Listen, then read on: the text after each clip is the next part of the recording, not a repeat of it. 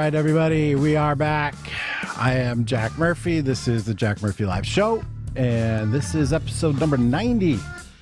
It's crazy. We've been doing this for three years now, episode number 90. And if you count in the uh, shows that I did with uh, two and three people, the Friday sessions and stuff, I think we're up to about 100 now.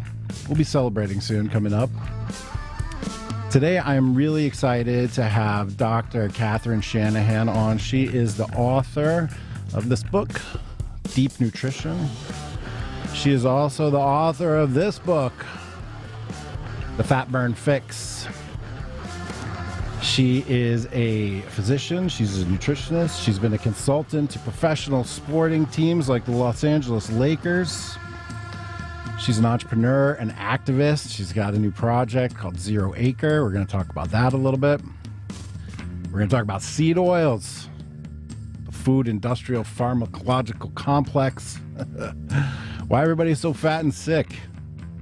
Hopefully, we'll come up with some answers. Again, get the book, Deep Nutrition, Dr. Cate Shanahan. Welcome to the show. Hi, how are you? Hi, Jack. I'm good. Thank you for bringing me on to your show. your audience. I'm excited. I think the audience is going to be very excited about this too. We are all of the sort of people that uh, don't take the answers that people give us for granted. We go out there and we find exactly what we're needing to find. We find the truth. Um, I'm, you know, it's funny because I'm Gen X, right? So I'm thinking about growing up in a sea of lies, basically, right? Low fat, good for you. My mom made me TV dinners because she thought that that was like the future and something cool. Man, look at this. You put it in this fancy new, hey, we got this microwave thing. It's pretty cool, right?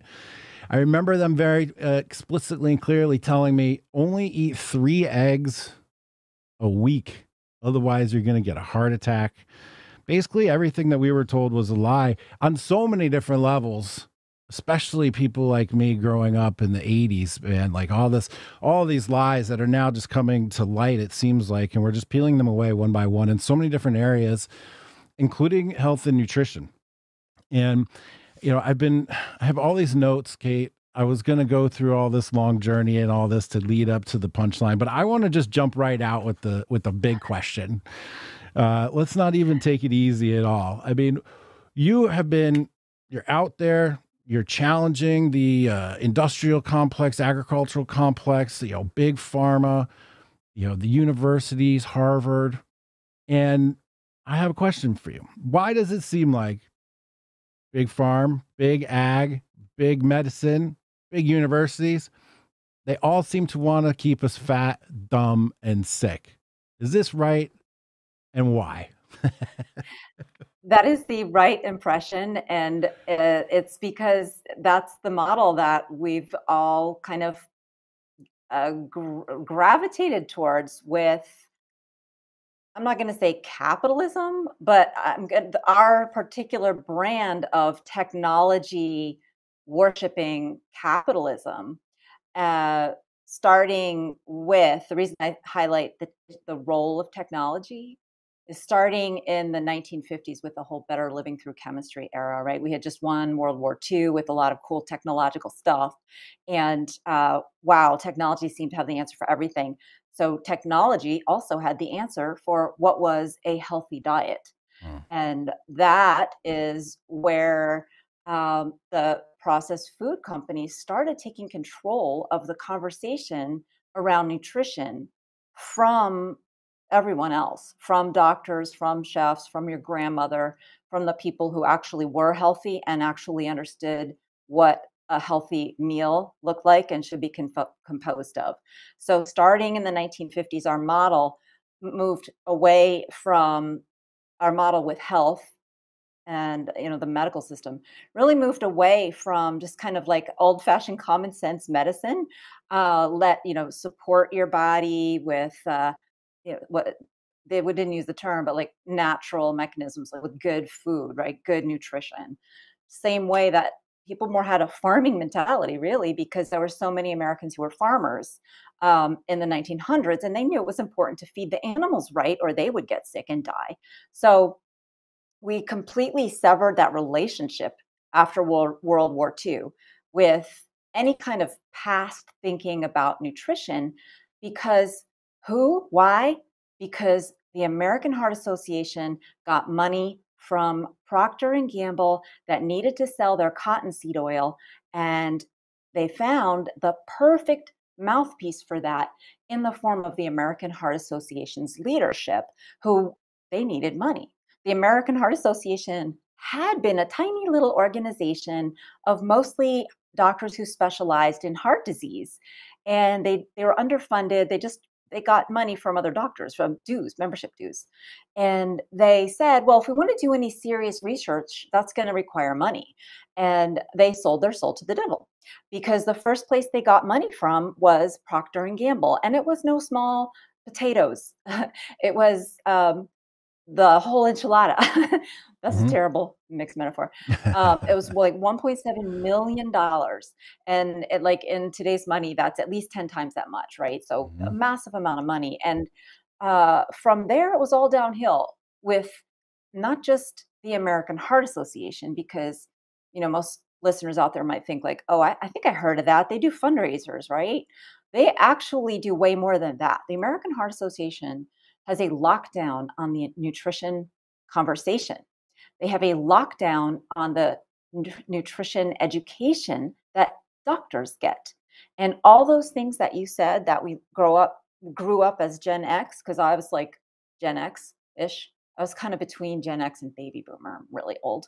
Um, but all all those things that you said, like we're starting to peel away the lies they're not being peeled away from medical education.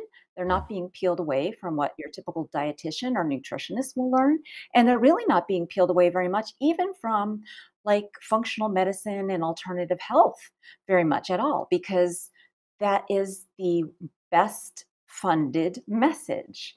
And um, and it's one that we Amer- as Americans have been told is uh, a direction that we ought to go, which is more technology, more time saving, convenient things, right? Because it's all about processed food, really. That's what it, that's what all of these, if you want to put in a, in a, uh, one tiny little nutshell, what are all these nutrition directives having you do?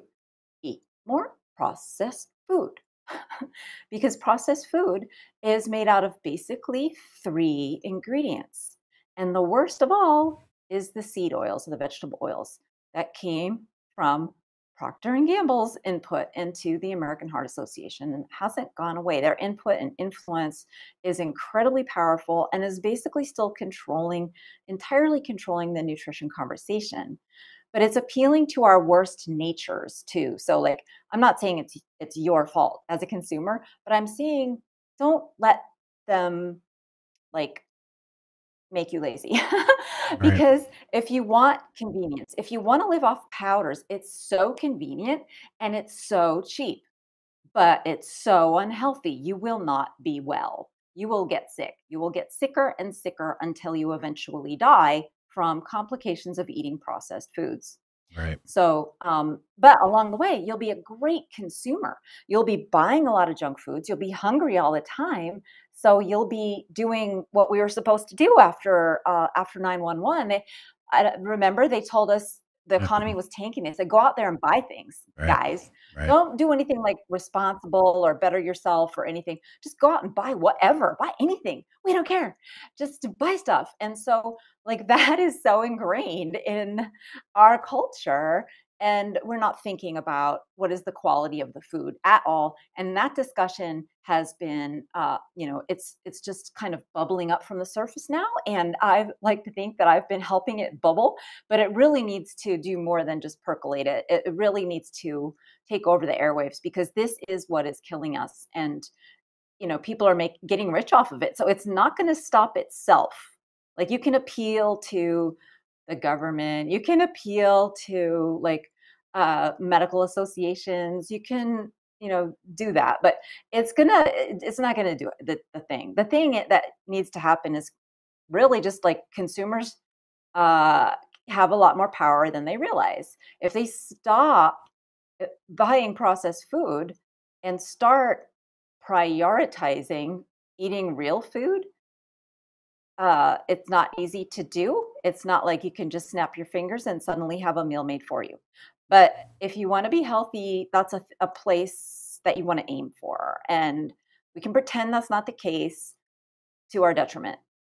And we'll end up, you know, sick on multiple medications. The average person over 65 is on nine prescriptions and has had at least three surgeries and been in the hospital um, more than once. So, uh, you know, usually for something like a heart attack or a heart attack scare or a stroke or some major organ failing and needing to be removed or fixed in some way.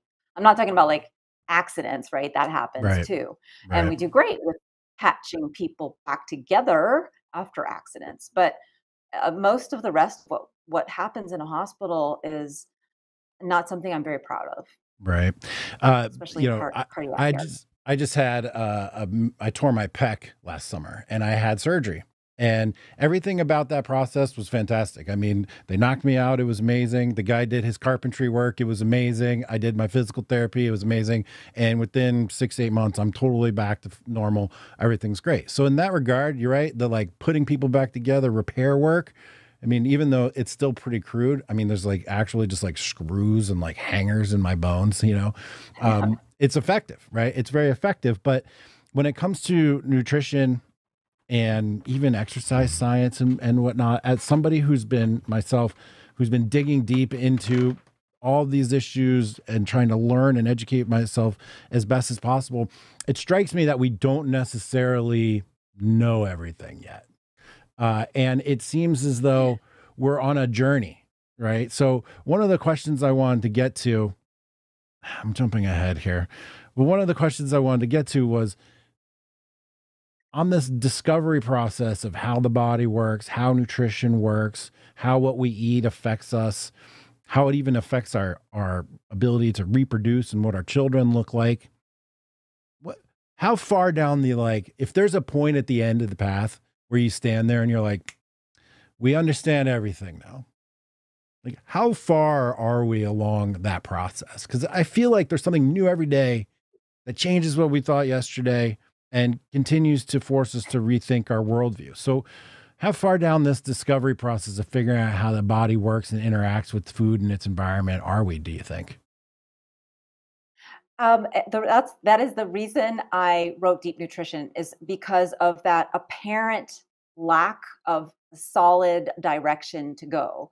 Um, as far as what to eat, we really, I mean, that's that's not that complicated. That we have some great answers for. That's what I put in Deep Nutrition, but it's it's uh, it's not uh, based on like the latest what a dietitian would say, "Oh, you need to have a double blind, you know, controlled trial." Uh, that is insanity. We are a species that lives an average of 75 years. So that would, you know, we would have to wait quite a long time. Um, then there's the additional fact of generational inputs. There's at least three generations that, that of, of nutrition that we know impact your health very powerfully. That's from the science of epigenetics. And uh, so that adds, I'm going to triple that, right? So that's an insane way of thinking. And we don't need to do that. We just don't. The problem with nutrition science, and I'm going to I'm going to tell you this and this is what deep nutrition really is based on. The problem with nutrition science is it has no philosophy, no grounding in any kind of um, philosophy other than technology is pretty good. Like let's try to use that as whenever we can to prove our Mhm. point or to, you know, uh, invent a new expensive drug or biohack a new expensive supplement or device that's going to, you know, we can market, right? That's that is the philosophy now. That philosophy will kill you. The philosophy that we used to have was very common sense. And that's what I put in deep nutrition. That philosophy is this it's very simple. We ought to eat the same way that our healthy ancestors ate because that is probably an indication that they ate well. And in addition, the reason I put so that's deep nutrition. That's the deep nutrition philosophy. It's part of a larger way of thinking about human health that is a is a it's a movement that's been around for a while and is growing called the ancestral health movement. And if you wanted to describe the ancestral health movement, I couldn't think of a better way than what, kind of what I just said, which is really we ought to eat the way our ancestors ate. They were healthier than us. We're doing bad. Uh, they did great. You know, some of them, not all. Some people died of accidents. Some people died in childbirth. Some people were malnourished.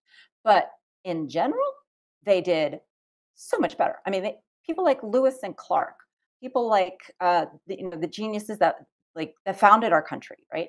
Uh, the the strongest people in history, like Genghis Khan, the toughest badasses you can think of, they ate the way they ate according to deep nutrition principles. They all ate the same kind of diet in terms of the strategies of how to maximize their nutrition from the natural world. They didn't use processed foods. They didn't use synthetic vitamins. They didn't use. Uh, they weren't vegans, and they. Uh, but they they all did the same kinds of things to fortify their body with the absolute best foods and best nutrition, and they were so healthy. And that's what I, I break it down a little bit in deep nutrition like how do you really even define health right? That's an important question that i think is not been part ever a part of the medical conversation. They don't talk about that. What is health? They talk about what is this disease? Mm. and usually the answer is we don't really know when it's not an infectious disease or a broken bone or you know something obvious like a heart attack or a stroke but even those they don't really understand why those happen. So they they are not in a position to tell us what to eat because they have not even studied what is health what is the goal here? What is the goal? As far as they're concerned it's all about heart attacks because that's the entire nutrition conversation has been centered around cholesterol and keeping that cholesterol low so you supposedly will, will be protected from having a heart attack. And it's all about that. They don't talk about what to eat to prevent cancer in medical school or dietitians. They've got some like loose ideas about, you know, anti-inflammatory foods and antioxidants, making sure you get like basic vitamins. But it's not like preventing cancer really isn't like my ideal, right? I want to be healthy. I want right. to be vital. I want to be strong. I, I I wanted to when I was in college not have injuries all the time that would sideline me from my my track running. I was on a scholarship, which I almost lost because I kept getting injured. And I no one could explain why. Well, that was I, I found out why. And and it has to do with my diet. It has to do with how diet changes your connective tissue, this stuff that makes your joints strong. So, our diet in this country does not support healthy connective tissue. That's just one example of the kind of stuff we need to understand and we need to we need to know what that means. When your diet doesn't support healthy connective tissue that means that you will see more athletic injuries in children than you you know with each passing generation. You will see more athletic injuries in children happening earlier than ever and that's exactly what's happening in the mm. sports world. Um, they're finding that there's this, uh, like baseball, take for example, there's this shoulder, uh, elbow. This is the elbow. I'm a doctor. Um, there's this elbow surgery. Tommy, Tommy John, sure. called, uh, yeah, right. Yeah. That is most commonly now performed in children. And the doctors are like, oh, well, they're just training harder and their growth plates aren't solid. No, I mean, kids would play really hard back when I was a kid. You know, they would play all day. They didn't necessarily have organized sports and so much maybe repetitive stuff, but um, but the injuries now that we're seeing are way out of proportion in children, um, and a younger and younger professional athletes are having to get the surgery. It used to be over age 30 for you know the most common average age for Tommy John, um, and now I believe it's like 27. So it's just that that's because our connective tissue is what makes our joints strong. Our connective tissue is like what are that's the term for like ligaments and mm-hmm. tendons and um, synovial fluid, even the stuff that's supposed to lubricate your joints and nourish your your the bones of your joints and your cartilage and just keep everything lubricated and like running smooth and painless, right? But when you don't have anything in your diet that specifically supports connective tissue, because all of our ancestors did, they had something called bone broth, bone stock, uh, collagen based foods. That's not part of the American diet. That's why, that's one of the big reasons why we are seeing children feel like their grandparents in their 20s while their grandparents are in their 60s. And sometimes their grandparents are surpassing them in their capability to, to be active. Like that happens in my own family. My mom has fantastic knees, but my sister's son is already having knee pain and he's like eight. Hmm. The you don't know this about me, but uh, I'm a big baseball fan, and I, I coached baseball. And my son is a is a high performing baseball athlete on his way to top D1 school to pitch. And so this subject of uh, early onset of Tommy John surgery is something. I mean, we don't have any symptoms of that. He doesn't. But you know, the idea that kids, and I know this what you said to be true is that Tommy John, the tear of the ulnar uh, tendon, is happening more frequently uh, and younger and uh, they do attribute it to overuse, overworking, uh, you know, playing baseball all year round, etc. But uh, this is fascinating to me that uh, it could be dietary based. And uh, luckily, you know, in our house, we eat a lot of chicken off the bone. We eat a lot of steak with the bone in it, and we eat all kinds of foods that are lined up in both the fat burn fix and in deep nutrition. So we're most of, we're most of the way there, and it's no surprise that you know my son's 6'4", 200 at age fifteen and healthy as can be because he eats he eats very very well. Uh, I'm not sure he even understands how well he eats these days.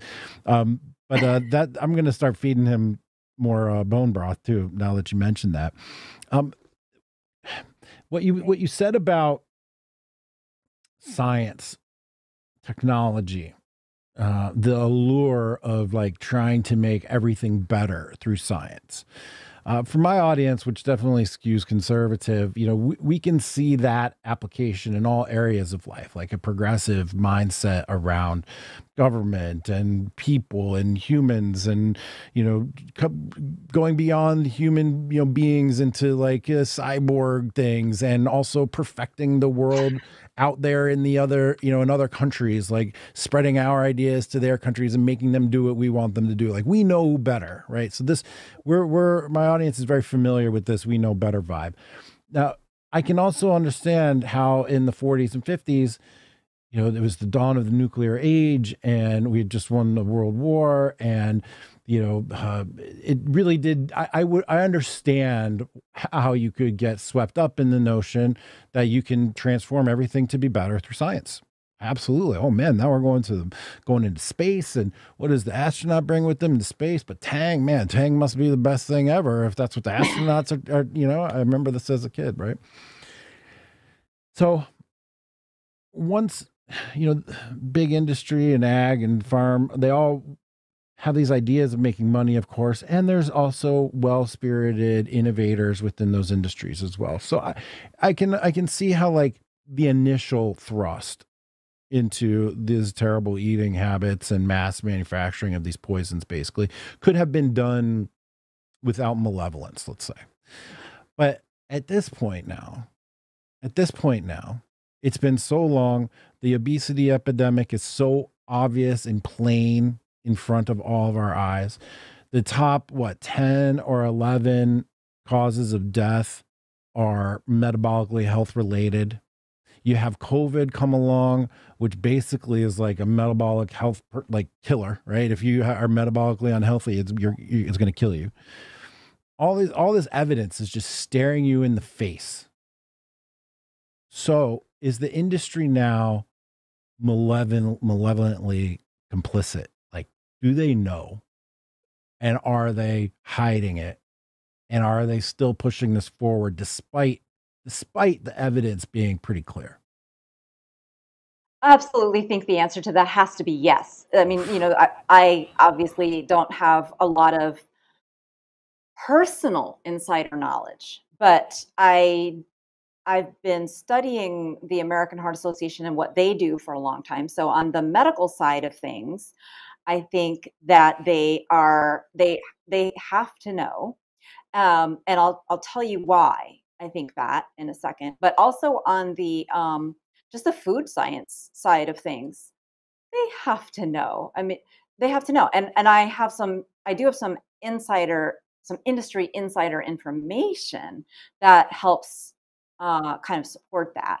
So starting with like the the medical science side of things. So for one thing, um, the idea that high cholesterol is a health threat was never proven before the American Heart Association just started saying it like it was common, like fact, like it just was, had been proven. There were initially many, many prominent doctors um, in the 50s, 60s, and 70s who strongly objected to what the American Heart Association was saying. Um, and prominent people, really like connected people, like the one of the biggest um, human health studies ever done, that's still ongoing, is called the Framingham Health Studies, named after a town in Massachusetts, where they've been studying generation after generation now what they eat and you know whether they have heart attacks and different health outcomes.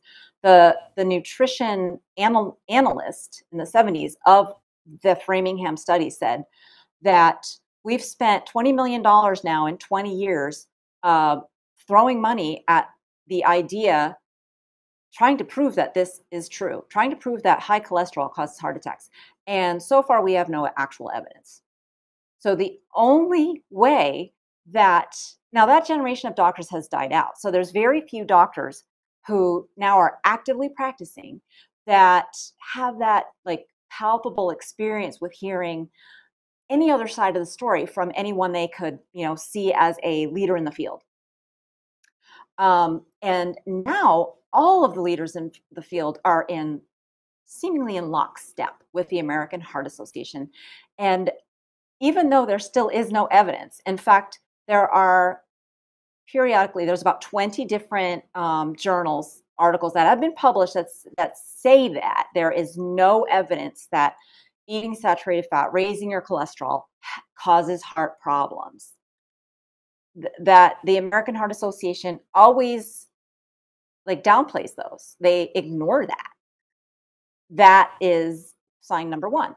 Um, another sign is um, that when evidence to the contrary, like not just that their statement isn't true, that their hypothesis is saturated fat cholesterol clog arteries, uh, right? And so the first thing is, well, that hasn't been proven. So essentially, we are all living in an experimental diet that, um, you know, that if you look at the data of, you see that it's leaning towards really bad idea. That's what we've done, and we're all getting sick now um, whether you know it or not, you're not eating saturated fat. That's what I talk about in the fat burn fix. You're eating a lot of seed oils. So, but the second, so that's like one kind of line of thinking, right? Has has it ever been proven? The answer is no. 20 articles on that. Has it ever been disproven? Well, yes. Hmm. And one of the largest and best nutrition studies ever done disproved it. Was it published? No. Why not? What was the excuse? Well, you know, those people who did it are dead now, but like the son of one of them is also a physician. And his answer was, I remember my dad saying, like, this eh, this outcome is just like so bizarre. I don't understand. It's not what we expect. So they just didn't publish it. So you might think, okay, plausible deniability there so far. But listen to this. Okay. this part is no more plausible deniability. In 2016, that study was analyzed and finally did get published. And it said, hey, everybody, this hypothesis that more saturated fat causes more heart attacks and more polyunsaturated fat from seed oils causes fewer.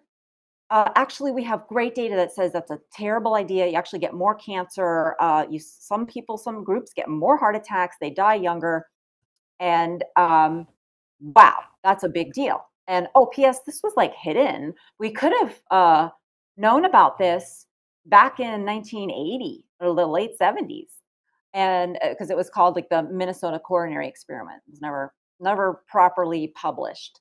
It was eventually published in like, but they didn't talk about the actual findings. Um, I don't know how they get away with that. Anyway, um, So, but in 2016, a uh, doctor named uh, Dr. Ramsden from the National Institute of Health, you know, really respectable guy, National Institute of Health, uh, dug up the old data and analyzed it and published it and said, this kind of should change everything. And as you know, you're not really allowed to say stuff like that in a scientific journal, but he came as close to saying, wow, this is incredible. We've been making a big mistake.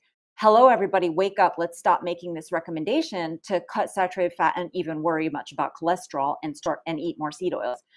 And so, what does the American Heart Association say about that? Like, because at this point, if they deny that, then I think there's something really wrong with them.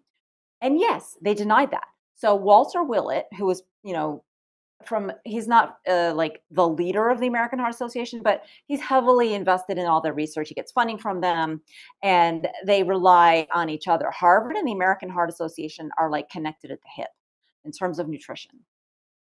And so um, Harvard is like uh, Walter Willett is Harvard's like dean of a major school. He's he's got like a school named after him. He's that influential. Uh, and he said, Well, it's just in, about this article that should change everything. He said, Interesting historical footnote. Anywho, you know, uh, don't, whatever you do, uh, don't eat butter and keep eating more seed oils and um, get on a statin for crying out loud if your cholesterol is like, you know, barely above like what would have considered extremely low would have been considered extremely low when I first started practicing, which is 70 if you're a diabetic, you have to have cholesterol under 70. You have to be on a statin unless your cholesterol is already under 70, which is insane. That's insane. Low cholesterol is actually a, a risk factor for really bad health. The lower your cholesterol once you're over 65, the more likely you are to die, period. The more likely you are to die of infectious disease, dementia, and cancer. So, mm. not cool. Not cool. Not cool at all. And for longtime listeners of the podcast, this is yet another example here of how our institutions, all of them are corrupted. They all have drifted away from their missions. These long, long-term institutions, they their preference is to stay funded, to stay alive, to to to just exist rather than achieve the mission. And that's why networks, building networks is important, right? You rise, networks rise to serve a purpose. If they provide a utility, then they stay together. If they don't, then they fall apart. And you another reason why you also just have to be in charge of your own health. Uh, and not listen to you know we, we we've learned over time that the big universities and big in the big associations you know the AMA even the AMA not necessarily looking out for everybody's best interests. And we can see uh, how politicized it's become and the attack, uh, you know, from our angle here on young boys and just young male behavior and such. It's, it's really quite ridiculous. Uh, one of the issues, you know, topics that you brought to light in your book that I haven't read too much about and I don't understand too much about, and I'd like to, is epigenetics. Um, when I was going through school, I don't think I learned too much about this in the 90s. Maybe I did. Maybe it just passed through me and I didn't pay attention. Um, but it, it struck me as relatively new and perhaps controversial. So, could you uh, just give us like a quick couple minute primer on epigenetics? Because I have follow on questions that are specific to your content uh, that will lead lead from there. Great, yeah. So it is a new science. It's it's um, first we sequenced the genome and uh, we thought that was going to give us all the answers. I, I, like if I don't know if you remember in the 80s, um, there was this project, the Human Genome Project, which uh, doesn't sequ- did not sequence all of our DNA, but just the active parts, like what we thought were the active parts, the genes. Um, the genes are the things that like make protein, that tell your cells how to make the proteins that your cells actually make. But epigenetic, then we did that, and we're like, gosh, well, what turns, what makes a cell what makes like an eyeball cell different from, say, a liver cell? Well, it turns out that the answer to that is what regulates gene expression, what determines which genes get turned on and off in which cell. And epigenetics is part of the answer to that question. So, is it a fringy thing? No, no, no. It's like the main thing now in genetics. It's kind of like the back in the 80s they were just starting to understand it. I was actually a, a geneticist at um, cornell going i went to a phd program um, at cornell to become a geneticist and to be able to engineer genes. I thought that was a great idea. It sounded like a great idea. Um, i dropped out. Um, so, so I, I decided it, this is too complicated. We actually are never going to get anywhere with this. Uh, so like i was wrong. I mean gmos are now a huge thing, but they're kind of bad. They're they're not really helping anything. Um, so so, but uh, you know, I was uh, at that point in time, the science of epigenetics was just kind of really being born, and um, and it was showing that genes are regulated. And what I wrote about in Deep Nutrition is is is the coolest part of epigenetics and that is it doesn't epigenetics doesn't just determine which genes get turned on in which cell epigenetics actually connects your DNA to your diet. It can that means it connects your DNA to the outside world. And the thing I think is so cool about that is it means that every cell in your body is really kind of dependent on the outside world, the health of the ecosystem out there. Are you accessing a healthy ecosystem when you eat, or are you accessing a food desert when you eat? Because your genes are dependent on the healthy ecosystem. And if all you get is a food desert, you can't be healthy. And the worst part is that this sort of alt it, it alters the function of your genes and it can be passed on in generations uh, down to the next generation. For example, limiting the height of your son, right? If you didn't have a good diet, uh, and your wife didn't have a good diet and she didn't have a good diet like there's a lot of different ways where you can kind of make up for it. But if nobody had a good diet um, and your grand your parents and grandparents didn't have a good diet you would not have a six foot four son. How tall i'm assuming are you six foot four? I am. Yeah. So you would you would have a son that was shorter than you or possibly had was your height but had really thin bones uh, um, kind of like spindly looking, right? Instead of being, you know, having this robust uh, skull structure that men are supposed to have compared to women. And, um, you know, men are supposed to look different than women, right? I, I mean, I think your listeners probably accept that. um, it's not a, uh, it's not a choice it's biology yeah. um, and they are when i say supposed to i mean so that they can be fully men so that they can be healthy and i don't mean like they should be, you know, beating their wives kind of men. I don't mean that. I don't mean like that's not a full male. Like I don't mean you have to like drive a truck. I don't mean you can't be smart and be a nerd, right? Uh, uh, I mean to have the physical structure and physique that makes you stronger than a woman, so that you don't have to uh, claim that you're a woman to win win a swimming race, right? Like those guys. Indeed. Oh God.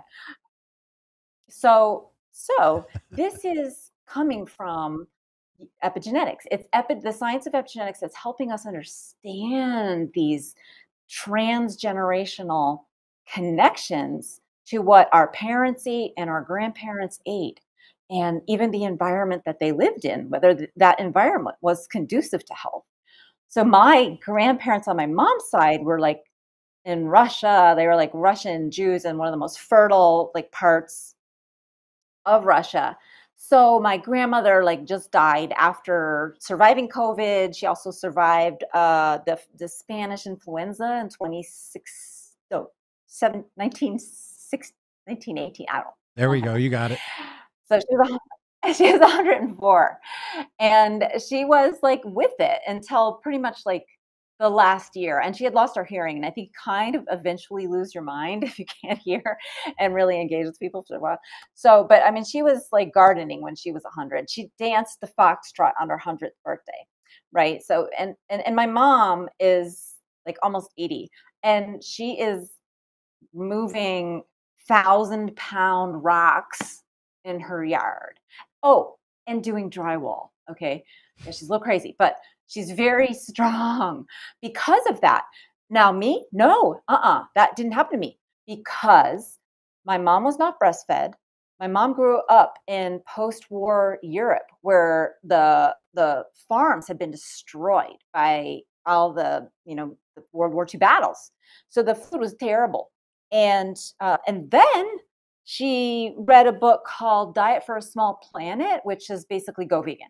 You know, don't worry about getting enough protein. You basically don't. You know, it's so easy. Just eat peanut butter and bread and you're going to have enough protein. So we were all relatively deprived in protein. We were eating seed oils because my dad was a doctor and he was learning that margarine was healthier than butter, right? So I was plagued with injuries from pretty much the first year I started trying to really use my body like an athlete. When I was a cross country runner, I was really good because I have giant lungs. but uh, right, I had the advantage of like getting air, so much air, and I have giant lungs and I have a large heart. So even though I was, my body was falling apart, when I was able to run, I was really fast right so i felt like so frustrated because i was on scholarships i was invited to um, the olympic trials in uh, 1980, but I couldn't I couldn't do all that well because I just kept getting all these injuries. So it was very frustrating. And I wanted to go actually to medical school to Cornell first to solve that problem. I wanted to be a geneticist to find out what was wrong with my DNA, um, so I could like modify my DNA and fix everything. And then of course I realized, wait, it's not possible. So genes are cool, but we can't like technology is not that cool yet. I mean, I don't think it'll ever get there. But even with CRISPR, but um, so um, I uh, I left uh, Cornell to go to medical school and see if there was something I might learn there about like why did I have shin splints all the time? Why was I always getting tendonitis? Why was I injured all the time? And I had friends who um, who like never trained even, and just like one of them like upped and ran a hundred mile race. And I mean, he trained a little, but he didn't train for that and he didn't have any injuries. He was just tired. I was like, why? What is the difference? And the answer, I, I, did not learn in medical school, but I did learn, and I put this in deep nutrition. It comes down to that connective tissue and that my dad and mom were eating this, the standard American definition of a healthy diet. That family that I'm talking about, where there were seven children and they they were all like massive mega athletes, and um and like really good looking too, which you know I wish I was better looking in high school. I, I was born like with the body of an 80 year old. right. I don't have like a long, you know, feminine waist or anything, but this family did. All the girls did. And, um, and uh, uh, they had the wide hips. And I, I was like, wow, they look better, they function better. But I didn't learn anything about like how that equates to healthier, better athleticism in medical school or anywhere. I didn't learn anything about that until I started looking into epigenetics and some old fashioned ideas about what nutrition is. And I lived in Hawaii and it kind of all came together because Hawaii is like a snapshot of back in time. It's a window back 100 years ago, really, because until the 70s, they, they like electricity was not common so people couldn't even like refrigerate their food. They had to be completely self-sufficient almost completely self-sufficient. And the islands were verdant right? There was you could hunt wild pig and wild game that they had put there. Um, you could hunt, use fish raise you could fish you could raise chickens fresh vegetables all year round. So people were massively healthy and i was coming to realize that they ate wildly wild foods. They ate wild foods compared to what I ate, like goat leg and um, mushy weird things made out of organs and um, yeah. So I was getting a picture, starting to get a picture back in 2001 that things were just starting to crystallize. Like there's more going on here. And what really pushed me over the edge was getting an injury myself. And then I couldn't actually do anything other than I couldn't exercise anymore and I had to do something with my time. And so I started looking into old nutrition books and I found um, the best one ever written uh, by a dentist named uh, Weston A. Price. Do you think like people in your audience might have been, have you introduced your audience to him before? I, I have sure. not, but I read about him in your book. Okay, great. So he's um, an adventurer. Like he was a dentist who became an adventurer because his philosophy was so wonderful. It was that he was a dentist and he was like, why is it that humans have crooked teeth and cavities? And when you look at all other animals, because like he had grown up and spent many years hunting and basically living self sufficiently in southern Canada for a long time. Um, and so he looked at the animals and they were all like a pristine health, right? Teeth wise, right? Um, and uh, so he was like, why is it that people don't have straight teeth? That seems weird. And he also realized that while he was hunting in Canada and living off the land, lots of wild game, um, he felt better. And then when he went back to his practice in Ohio and started eating more, at that time, processed food was just starting to enter the food supply. And even that little bit, he noticed the refined flours and sugars, and there were seed oils back then. Um, that little bit started to take a toll on him. And he was like, hmm. And he had this stroke of genius idea, which was I need to find a healthy human control population mm. that hasn't started adopting these foods that's still living self-sufficiently off the land in some fashion um, you know whether it, by by in some fashion i mean like whether it's no matter where like anywhere could be hawaii could be alaska could be switzerland and um, and if because if that group that has not been introduced to what he called the foods of civilization, which at that point were mostly just like refined flours, sugars, and vegetable oils, mostly some tinned meat that didn't have like it was overheated and not so great. Um, that that were free of that, if they had better teeth, then that's a control group because they're presumably, and this was his big hypothesis, getting better nutrition. So heroically, even though he was like this dumpy guy in his like I don't know, he looked like he was 50 and 60 or something like that when he got started, um, and never ridden a donkey. he went to all these out of the way places that you can only access by donkey, and brought like a camera and like stuff for analyzing the vitamin concentration of the foods, and performed this incredible feat of data uh, collection and analysis. He went to 11 places and indeed found that where people were eating their traditional, like um, foods, they're just following a traditional foodways. So the term foodways is is like the description for what you eat and how you grow it mingled together, right? So if it was farming, what did you do to fortify the soil that your mm. food was coming from? right? So all these considerations that goes into food foodways. So what were their foodways? and um, so first of all, he found that yes, everyone that had been never gone to the cities had straight teeth. Okay, straight. That means their skull development was ideal. And why did that matter so much to this dentist? Like, who cares? Well, back in the 30s, we didn't have antibiotics. We didn't have safe anesthesia. So if somebody had a tooth that you needed to pull and you wanted to put them under, you might kill them. Or they might just have to be screaming in pain. And as an eight year old, that could traumatize you. And you don't want to do that to your patients if you're a kindly gentleman like he was. So it was, it was, he cared a great deal about avoiding these seemingly little things that could kill people back before antibiotics. And he, he basically proved that humans have an ideal facial structure that enables them to be free of crooked teeth, to accommodate all their, uh, including the wisdom teeth, that enabled them to see without needing glasses. I had to have teeth pulled. I obviously need glasses.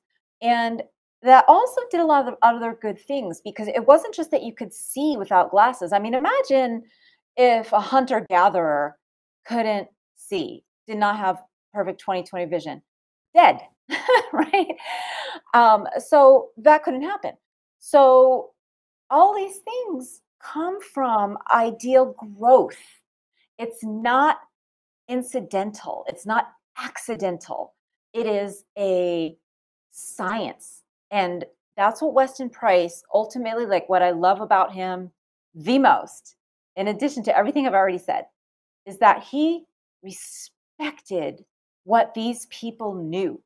Because it was miraculous. It was life giving. It was it enabled people to grow to be this ideal human in, in terms of their structure, right? I'm not saying in terms of like your personality or your value, or I'm not saying that people don't have that. Like myself, uh, if or you know, if you have glasses, you're not a great human being. You you could be you can have a wonderful heart. But in terms of your capacity to be healthy and really experience the full like physical meaning of what is it what are the benefits of being human? That human athlete that we are genetically like programmed and like endowed with the potential there to all be olympic athletes. But if we don't get nourished properly for too many generations that goes out the window. And what price said was that there is knowledge in these people that we need to pay attention to. It will save us because he was he was not just concerned about things like um, teeth. He had a real big picture view. He was also concerned about society and like criminality like because he he was he he had this idea from going to all these places where that that like health even mental health could be a reflection of your diet like mm. you know was dependent on your diet. And now we know that's perfect that's true it's not a crazy out there idea like we have proof that if you don't get enough omega-3 for example your brain isn't as big. If you don't get enough protein uh, that sets you up for more learning disorders. If you are not breastfed but instead formula fed original junk food formula um, if you are not breastfed your iq is lower right so there's all this evidence that is not controverted that what we eat can affect who we are on such a fundamental level. It can even affect what our society becomes. And that's what he was also concerned about. And he said that if, uh, if America wants to have a great future, we need to learn more about what these localized pockets of people are eating to be so healthy and he did his best to collect all that data and he there's tons in his book but there was tons more that he collected that was never published and ultimately was stolen and you know now may never be published because of it but but I, I you know that was that was everything to me. That was like this is the answers this is where this why didn't i hear about this in medical school it would have made everything make so much sense yeah this is all the stuff we're struggling with now yeah. Well, first, I just want to compliment you on the fact that, you know, you, you have something going on with you. You're like, I'm going to medical school and figuring out what this is. I found something else out. I'm going to become an expert on this field and figure out what it was. That's the kind of energy we need. And just everybody, everybody needs like a smidge of that energy that you just sort of put on display and have demonstrated throughout your life. I find that very impressive and very cool. So, guys, everybody out there, if there's something wrong, figure it out you'll never know where you where you'll end up once you just go down a really deep path of trying to trying to learn. The the epigenetic question I asked you was because I wanted to just sort of lay the groundwork for yeah, there is a relationship between what you eat, where you live, the air you breathe, the water you drink, your genes and your gene expression and the health of your of your offspring. And that if you do this, uh, if if you have a uh, some sort of maladaptive piece in that's in that um, whole milieu, you're going to have bad outcomes, and the bad outcomes will be replicated. And as I'm reading your book, again, Deep Nutrition is one of them. The Fat Burn Fix, fantastic book, rich, deep, amazing research, tons of great stories, very well written too. I might add. Um, I, the idea of like nutrition based classes uh, or even a nutritionally based sort of race. And and I don't want to like get into like the terrible scary parts of all that, but there there it, it does seem to me, right, that you can walk around and the the people that are and I think we can call them victims. I think they are, right? Like mid, middle mid America working hard, no time for research, feeding the kids what they can get their hands on at the local thing and the whole family's obese, right? Like I feel bad for them that is going to be replicated and compounded. And eventually we're just going to have sort of like a biological drift. Do you do you see that or do you feel that am I am I thinking crazy that the the class divide in America is is at least manifested nutritionally and then in in its health or perhaps even driven by it? Well, absolutely. I, I don't think that's crazy. It, it's it's something that makes people sometimes uncomfortable, especially the people in power that don't really want you to know that. They get really uncomfortable, and then they start. Actually, I've been attacked, right? Like, uh, uh you know, people have called me like uh, uh even a Nazi because I want to help people know what to eat to have healthy babies, right? Right. I mean, that is a crazy idea that that makes i mean if you think that's what nazism is i think you need to go study history because Right. they killed people uh, uh, that were you know jewish or whatever they discerned to be like degenerate go back and read your history because you don't know what you're talking about what i'm trying to do is just get us to what where everyone was a hundred years ago. There's some really great stories I learned doing the research for deep nutrition about um, like grandmothers in Africa who were very upset when missions would come to their town because they knew that really the only way to have a healthy baby was to feed them right. Uh, but you know that's more work than going to the mission store and eating junk. But their daughters were having babies that just their the attitude was, well, if they get sick, I'll just take them to the mission, you know, hospital and they'll take some antibiotics. And the grandparents were really upset with that. They were like, this is not good. This is this can't end well. And you know, so it's not a new idea, what I'm saying. And it's not controversial. I think, I mean, it is controversial in our very squeamish and weird society. It's controversial. But it shouldn't be. I mean, that's part of the problem. That's part of like to to make that kind of discussion to put throw shade on that sort of basic survivalist discussion is bad. That is wrong. Don't do that. We should be elevating this discussion, not trying to suppress it. That is basic. It's common sense. If you don't feed your children right, it's not going to be as good as if you do. How can that be controversial? So stupid. So you are not. I don't think you're reading into it in a wrong way. I think. I think you're 100%. We are down this road already with with um, different classes. Like when you said nutrition classes, I thought you were talking about people should take nutrition classes. then I realized, oh, you're talking about socioeconomic. Yeah. Oh, oh good, good topic. Although I, I would love to teach nutrition classes. Um, the um, yes, we're there. I mean, there's this thing called the social determinants of health. Right? Mm. Have you heard that phrase? Mm-mm. Like it. It's it's kind of a lefty phrase, um, Mhm. and uh, you know, I'm not saying there's anything wrong with that. It's a phrase. Uh, uh, the uh, what they're doing is they're saying that there's something um, about your socioeconomic level that limits your health. Right? That's Mhm. an entryway into this very important conversation. Sure. And what they're saying is like um, it's it's stuff like um, uh, well, what they are saying also is what it's what you eat. And if you've heard the term the term food desert before, it comes out of these conversations around people who live in a food desert, which means like your best grocery store is like the dollar store or a Seven Eleven. Like there's no fresh food anywhere within miles. You can't get fresh meat um, or fresh vegetables. And that's a food desert. And they know that people who live in food deserts are destined to be more overweight, have more diabetes, have more mental health disorders, have more difficulty getting a job, finishing, you know, college. It's not genetic, right? They're Yeah. not saying it's genetic. Yeah. But the doctors are. The doctors are saying it's genetic. The doctors are saying that African Americans are just more prone to type 2 diabetes and obesity and hypertension. That, if you ask me, is racist. But Right. uh, I don't want to use that word. Sorry, I don't want to cancel get you canceled. Um, but but no, I mean I'm serious. That like that is so short sighted. Um, there that if people are living in a lower socioeconomic um, environment and they don't have access to good food, they won't be as healthy. That's like so basic.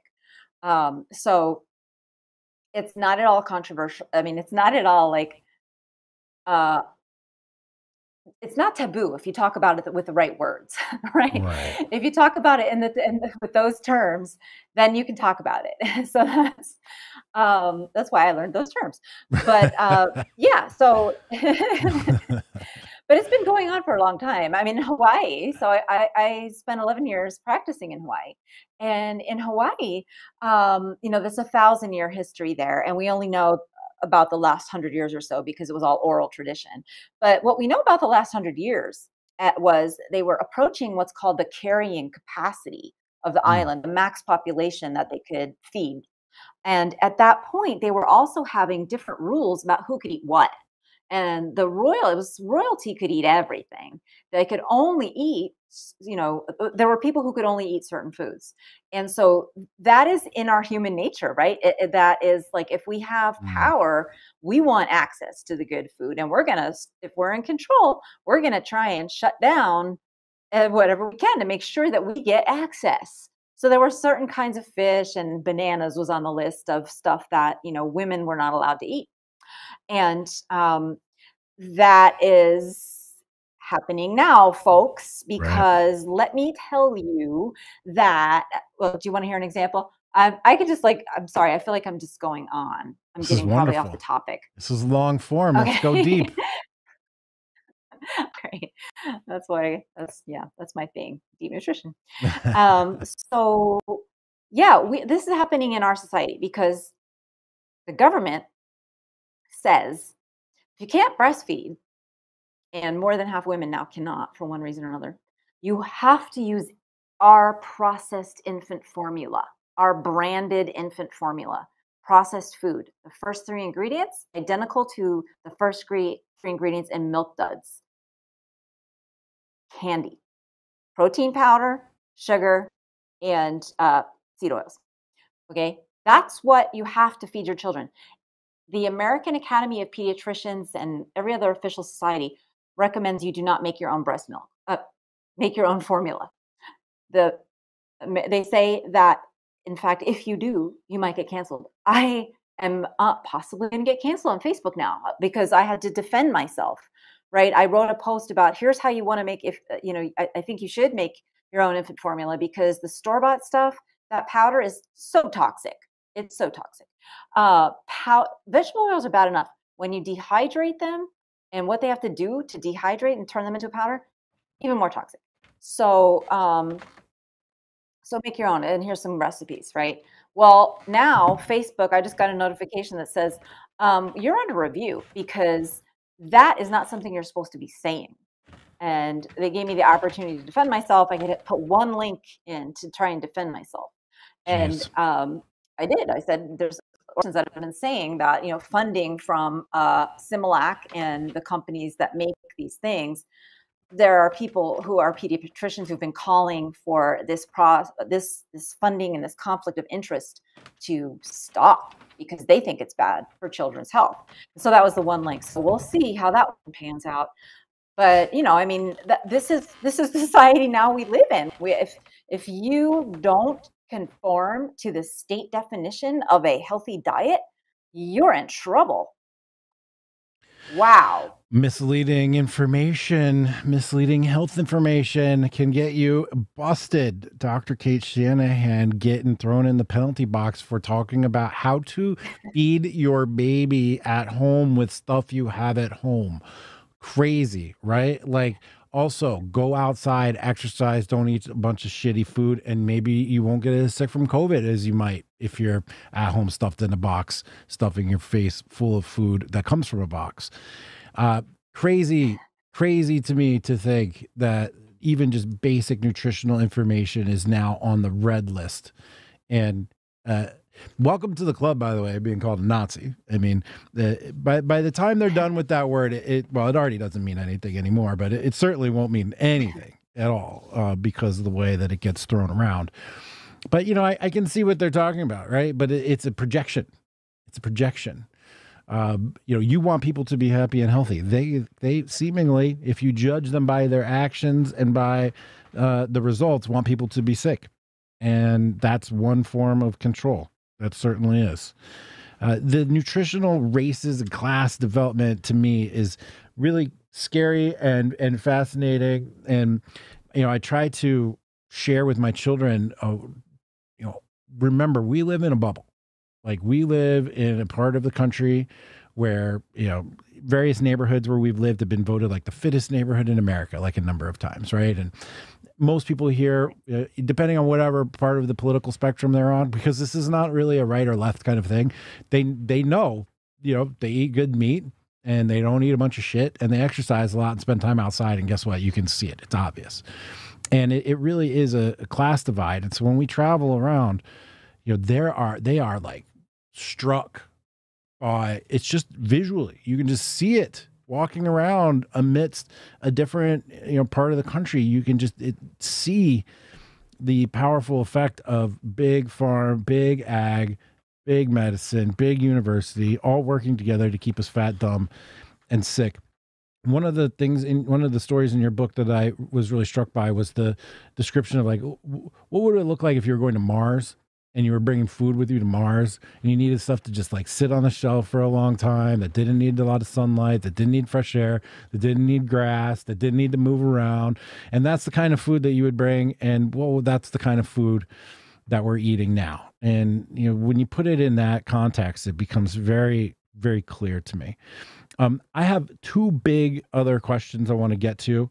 Uh, if you stick with me for a couple for a couple questions more.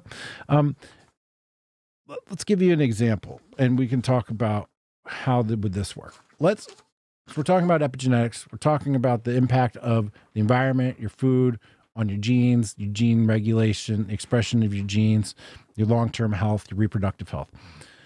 What what would you tell a woman, grown woman, whose mom was poor, smoked, gave her bad nutrition. She grows up with asthma, bad eyes, headaches, bad skin, and wants to be more healthy to have healthy babies. Is this something that she can change? And if she makes the changes that you describe in your book, because you say that you can, what what do they have to do? How long does it take? How long does it take before somebody's ready, you know, to say, I'm now, I've I've I've maybe cured myself of this, you know, nutritional legacy that I've been handed. How will I know that I am able to now reproduce, say, in the most optimal way. And now this is not just for women, it was just like the first example that came to mind. Same thing for men. You know, the same cycle for your environment and the food, whatnot, it affects your sperm. Since you're making sperm all the time, they're probably even more susceptible to the ongoing changes, right? Because it's in real time. Uh, so talk talk us through that because this is, seems like a really powerful thing. I, I know people want to give their kids the best chance that they can, and I know people are much more calculated these days about when and how they're having children and whatnot. How does this work? How do you cure yourself of your nutritional legacy? What do you what are the signs that you have done it and when do you know you're ready then to give your kids the best foot forward? Well, first, I know there are people asking that question. It's a very important question, probably the most important you can ask because it's going to affect your child for the rest of their lives. It truly will. Um, and congratulations for even asking because there's not a lot in our culture that would make you do that, just your own kind of thinking, right? Um, and uh, the answer is we don't have like a lot of, no one's really studying it. So uh, my best, I can give you like my educated guesses, right? Okay, fair. So things that I would really recommend that you um, get straight are you know stop eating the seed oils because those things are incompatible with you being healthy um, in the long term and certainly incompatible with uh, having an ideal child development. They're, they're very inflammation promoting and child development is so easily disrupted by inflammation um, so you want to get the seed oils out of your diet and you want them out also though. I mean, the thing is the seed oils build up in your body fat. So they're there for at least like a year and a half, mm. right? Until uh, after you stop eating them. Um, so you want to get those things out as soon as you possibly can. And uh, the the thing like so people might be thinking okay well i'm say I'm like my biological clock is ticking, what I can tell you is that avoiding the seed oils and optimizing your nutrition basically reverses your biological clock. I mean, people will have irregular I say this because people will be infertile and or have irregular periods or have uh, problems with their ovaries like polycystic ovarian disease and they will reverse all of this with a healthy diet. They will start having their periods again. I have worked with women who thought they went through menopause early and they mm. got on a healthy diet and they got their periods back. They weren't like the most thrilled about that, but but you know, but it's a good sign of like, you know, vitality and youth. Um, and then when they had menopause again, it wasn't like a big deal. There was like no hot flashes or anything. Like it was easier. Um, so uh, so getting the seed oils out of your diet, just like knowing how long you've been avoiding seed oils, like that's key, right? You don't need any tests for that.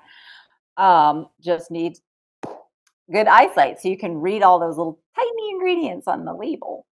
Um, but uh, so that's like a year and a half, I would say, maybe minimum of avoiding those and also trying to eat healthy. Okay. But what are some objective things you can look for? Uh, well, I would like to know that you have a normal insulin sensitivity. And I, I, have links on my website on how you can get an insulin sensitivity test because even though it's like literally the probably the most important single blood test you can get, um, it, doctors don't even know how to order it. So you can go to a walk-in lab and get the test done. And so I, I have links on my website on what that is and how to find like the whole process. So insulin sensitivity is an indicator that you are sensitive to hormones. Insulin insensitivity, insulin is a hormone, right? It's the hormone that helps us, right? One of the key hormones that helps us regulate our blood sugar levels. Diabetics, type 1 diabetics, need to inject themselves with insulin because uh, they don't have any, and it's necessary to get the sugar in your bloodstream out of your bloodstream and where it needs to go. So if, but seed oils in your body, they cause insulin resistance, um, insulin insensitivity. So that means your body has to produce a lot more insulin and it still doesn't even work very well.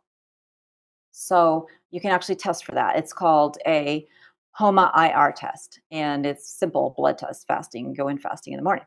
That's probably the single most important test. If you have a normal HOMA, an abnormal HOMA IR and you're not insulin normally insulin sensitive, that is a strong indication you're not normally sensitive to all the other hormones that you need to be normally sensitive to to have a healthy baby and even to have pregnancy not be dangerous for yourself or painful, right? Because um, diabetes type 2 is a disease of insulin resistance. And we know diabetes type 2 and prediabetes and insulin resistance put women at risk of pregnancy complications for themselves, not just for their children. And I'm talking about like preeclampsia, which used to kill women, um, but it's associated with uh, high high blood pressure and um, you know needing a cesarean section early to get your baby out of there before the baby dies. Um, and I'm talking about other things like um, things that could kill the mom, like uh, like uh, the placenta not having the right sensitivity to hormones to end up in the right place in the uterus. So the placenta is that big mushy blob of blood that's like the afterbirth that basically you know sucks nutrition out of mom's body and gives it to baby through the umbilical cord. That's the placenta. So that thing needs to be in the right place. If it's in the wrong place, once your uterus starts to dilate, it will tear and you will bleed to possibly to death if you're not able to do anything about it because if, if it's over that bottom part of the uterus in the way of the baby coming out it's just all messed up. So it has to be you know it's supposed to be on top of the uterus and it moves around right? It's creepy but it, it can start out in one place and then like migrate around to the top where it actually belongs. But it has to be um it has to be you have to have it has to be directed by hormones and a lot of other chemicals that the seed oils and high blood sugar levels will disrupt and so that's the reason why we have all these pregnancy complications and cesarean births required now because we don't have normal sensitivity to our own hormones. But that's why I like the HOMA IR as a test to make sure you know you're good um, for having a baby. Gotcha. Well, it's being deliberate. We're deliberate with so many things. People will spend a year researching what kind of car to buy, you know, or shop mm-hmm. for a year on like what new couch they're going to get or look for a house for 3 years, right neighborhood. You know, I I encourage people to put some thought behind the timing. If they haven't been eating healthy, which a lot of our guys and a lot of our listeners have, because this is, you know, like we are like you. We want answers. We go out there, we find them, we dig through studies and research and make sense of the world in order to come up with something healthy. Because we all have a sneaking suspicion that the party line that you're getting on just about everything is pretty whack. And so take some time to also figure out when you're going to have a baby because it is not only do you want to save money for college or you know if you're going to do that uh, provide them put them in a great neighborhood but kick them off the, on the right foot uh, nutritionally and healthily and healthily it's a great word uh, and uh, ep- epigenetically uh, as it were and you know it's powerful it's powerful just letting some of that soak in for a minute there's really so many things out there trying to get you. And I don't mean people. I just mean like bad food and bad oils and bad diet and bad ideas and bad this and bad that. And if you don't just put the time into learning, you're going to be behind. And that's going to be a class divide for people moving forward, irrespective of race, irrespective of gender. It will be a divide. Are you going to listen to the bad stuff and go down the bad path? Are you going to put in the effort to figure out what's good and what's healthy for you? And you're you're doing God's work here, putting this stuff out there and doing the research and putting it together in an easily digestible uh, format. But I imagine in doing so, you're you're making perhaps some enemies along the way, Dr. Cate. What what have your critics, besides Nazi, what do they say about you? What is what what? tell us the craziest thing people are saying about you, and then actually um, offer up one of the criticisms that you've heard that's that was pretty reasonable, but you have a good rebuttal for. Okay, let's see here. So one of the ones that I guess it maybe is the craziest. I mean, it kind of bothers me the most, um, and that is the idea that health is better than disease has been attacked. Hmm. Like when I, you know, the book um, Deep Nutrition is all about trying to promote health. So is the Pepper Um, but the comments come from people who may have children who are afflicted with diseases and they just don't want to think of that as bad like they want to they mm-hmm. want to you know generally be able to think of it as like a gift right because they're trying it can be hard and they're trying to cope with it mm. so it's great as a coping strategy but when you start like attacking folks for trying to prevent that sort of thing from happening to a child. Is this the context of autism? That's where, especially autism, yeah. yes, especially, um, because I, I, really feel like um, there's a, is a very interesting community there. I mean, it's one of the most difficult um, diseases that uh, well, it, like I mean, they wouldn't want to call it a disease, but it's it, uh, it's a disease. I'm sorry, um, it's not normal. You need you need your child needs support. You know, you need lots of extra teaching support, and that's okay. It doesn't make you a bad mom. It just means that um, some mothers might want to prevent that, and some children might have wished for, like I know I would have wished for my for better health, right? And uh, and I'm fairly functional um, so think about it from, I would ask that they would think about it from the child's perspective. Anyway, I'm so gonna, like I'm that gonna, is I'm gonna kind interrupt of like, you here because I had this one written down and I didn't ask it, but now that we're here, I'm going to ask it. Uh, do you think, right. do you attribute uh, autism to the prevalence of uh, seed oils in the diet?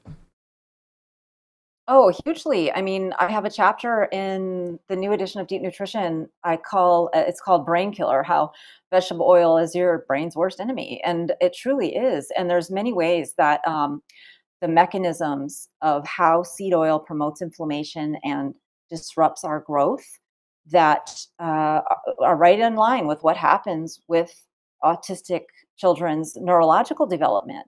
Um, and, you know, some people call um, Alzheimer's autism of the elderly, right? Because there's similar findings there that have to do with infl- inflammation. and seed oils promote inflammation. So it absolutely it's related and, and absolutely it's you can do something and like every day that you don't eat seed oils before you have a child is before you conceive is a good is a good thing. Um, and it's both men and women actually really you know matters like you said in real time. It um, it doesn't possibly take quite so long for for guys to experience the benefits because um, it's more in real time. Um, but uh, so uh, yes so absolutely i do and, and you know this isn't to blame mothers for saying you should have known this. This is you know to put it out there that there is something you can do and if anybody's to blame it's the american heart association because they're the ones that have been pushing seed oils uh, right? And um and and you know not physicians i mean it's i don't know if it's really the doctor's responsibility to like it's really hard to to learn the truth about nutrition. It's not like somebody asked me once, is it like just a little bit more learning that doctors have to do or is this a really big deal? I thought it was a really smart question. It's not like doctors are just like so lazy that we we don't even read the basics about nutrition. No way. We are so indoctrinated and it's so dangerous as a doctor to you know, actually dispense healthy dietary information, I couldn't practice anymore. And and like that kind of is one of your other questions, right? You were asking like, what do people say about? It? So I know that like uh, other doctors think I'm crazy, right? Because I'm not prescribing statins all the time. Because I tell people with type two diabetes that there is something you can do to reverse your diabetes and it, it, you know it's not all about carbohydrates either it's about these seed oils big hugely huge huge um, influence. And um, so, yeah, so like that was part of why it, it was hard for me to continue in regular practice because I was expected to cover for my colleagues, and their patients would come in and they would uh, need refills on diabetes prescriptions or cholesterol drugs. And I just felt like morally obligated to say, hey, you know, there's another way, at least. And like some people wanted to hear it and some people didn't. That's fine. But if my colleagues had had their way, I wouldn't say that, right? And and that was hard because like I respected these people, but they just couldn't go down the rabbit hole with me, you know, right. and get on board. So that that was tough. Yeah, I can imagine. Uh, it's as with a lot of these things where we've been told one thing, indoctrinated, and the establishment is behind something that's wrong, uh, it takes a lot to move people off that position, whether it's political, whether it's uh, nutrition, you know, who knows what it is. In in a lot of cases, especially politically, I've seen it takes a like a, a traumatic event uh, where finally finally you can no longer be in denial that the model that you have in your head isn't providing you the value that you need the utility as it interfaces with reality. And uh, it it's hard when you see people who you otherwise respect and and know are smart people and are kind and caring and and don't want to be bad people and and aren't you know but may still be enthralled to a outdated model uh, of perceiving the world, uh, whatever the domain may be. And um, you know, th- there's a reason why you know Pioneer has an arrow in the back, right? Like you're out there on the frontier, and it's dangerous, and not everybody's with you, and it's fraught with danger and criticism, and and risk, and you know, it, that's probably why people don't go there. It's why people don't go there. Right, right. Do you have do you have hope? Yes, especially Well, go ahead. well, I, I sort of do. Yes. I mean, I was going to say, especially in medicine, because we are always like, there's always the sharks swirling the the lawyers, right? Yeah. And the insurance companies and the medical board and all these people who are trying to. Um, I mean, if you if you step outside of a line, you can get dinged by any one of them. And there's all these pressures that our society puts on doctors to just conform and I've heard from you know people that had to engage with our own doctors now in the regular medical system, and a lot of the time they just feel like they're robots. You know, that I've spoken with doctors who felt like they were asked to be robots and they just couldn't do it. So they had to find another way of practicing. And um, you know, I, I I I have hope for these alternative ways of practicing. Right, there are a lot of doctors now who are I'm going to say enlightened because it's really the word around nutrition and um, and have gone out on their own in one fashion or another. But it's not always easy. There's not a lot of business models. Like you can't necessarily just be in the regular insurance uh, rat race, right. um, and so it requires like cash payments and stuff, which some folks like myself are kind of queasy about doing it that way. But um, I mean, otherwise you can't do it at all, you know. But um, I'm hoping that there will be more of actually the solution that my current boss considered which my current boss is a is like the the son of the CEO of a company. What is what does that mean? That means I'm a company doc. That the employees of the company don't need to have health insurance and I can help them. In and I can help in-house doctor instead of in-house counsel. Yeah. Interesting. Interesting concept. Con- yeah. It's it's, it's yeah. concierge-ish, I guess. It is concierge, yeah. but uh, like for free. So uh, right. you know, so right. Right. they just pay me a doctor's salary, right? Eh, but instead, I'm delivering you know much better quality than they can get in the insurance system. That's tremendous. I have a colleague Dr. Phil Ovadia. He is a heart surgeon. He's done over 3,000 heart surgeries, but he's made it his mission now to keep people off the operating table. And he's very focused on metal. metal oh, you know Phil. Oh, okay, great. And uh, yeah. he, you know, he's he's doing something similar now too. Um, you know, trying not to fly around the country cracking people open who are who are sick, but try to keep people from getting sick in the first place. And you know, unfortunately, well, amazing, lovely. I supported a thousand percent unfortunately, that doesn't help with the widening, the widening divide in some cases. Um, but writing yeah. does. Putting out books like this, Fat Burn Fix. There we go. Oh, I don't have the dust jacket here, but Deep Nutrition because I went deep into this one. The dust jacket got lost along the way. Um, tremendous books. Uh, I love your perspective and your outlook. Uh, I love the energy that you brought to your work. I think that you didn't say, you know, I got into medicine to make a bunch of money says it all. You got into medicine to figure out how to help yourself and now others. And that that that fuel is probably what, you know, helps keep you moving forward in face of people calling you Nazi and uh, you know, some sort of evil, you know, bad genetic manipulator and whatnot. When really all you want people to do is to like eat sauerkraut and like eat the meat off the bone and like have a fresh salad from your garden without a bunch of shitty salad dressing on it. It's not it's not that crazy. It's not that crazy. Uh, and, and the fact that we have to return to these eternal truths is also mirrored in other elements of our lives, right? In philosophy, like go back to the Aristotelian excellences. They've been there for 2,500 years. It's not brand new information. We just have to return to it. So, congratulations to you on that. And thank you very much for coming on the show. I have a million more questions. Maybe we can do this again sometime. Um, thank you very much, Dr. Cate, Catherine Shanahan. Sorry, I keep calling you Dr. Cate. I don't know why. Dr. Shanahan. Um, thank you very much. That's my brand. That's Perfect. Okay. Thank you for inviting me onto your show. Thank you. Yeah, Pleasure. It's, it's been wonderful, guys. Here's what it is, everybody. Uh, the book, Deep Nutrition. Get this one. Get the Fat Burn Fix. Uh, also, we didn't get to it, but we'll talk about it at some point. Uh, Zero Acre, please check that out. It's one of uh, their ways of trying to put a solution into this problem. Uh, but we'll do that another time. Thank you very much. Um, where um, can we send people to find out more about you? To your website, you know, plug whatever you'd like. Yeah, so my website is drcate.com, D R C A T E.com. And I'm also on social media.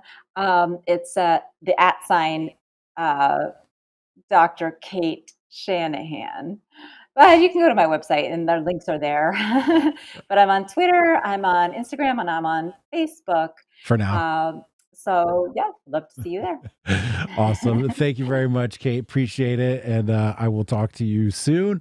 All right, everybody. Uh, that's going to be a wrap for this one. This was Jack Murphy Live number 90, Dr. Catherine Sh- uh, Shanahan, Deep Nutrition. Please do check it out. It's like the red pill nutrition. Uh, on top of all the other ones that we've been looking at. And uh, I really appreciate her coming on. If you follow me, uh, follow me on Twitter at Jack Murphy Live. You know hit subscribe here on youtube when we broadcast this. Also subscribe on whatever podcast you're listening to. And if you're interested in uh, masculine masculinity brotherhood and sovereignty come join our fraternity the liminal order liminal-order.com and uh, join the list and find out what it's all about. Until then uh, we'll see you the next time